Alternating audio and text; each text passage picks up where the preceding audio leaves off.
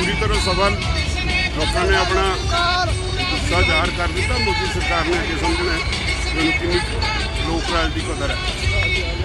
Bhai photo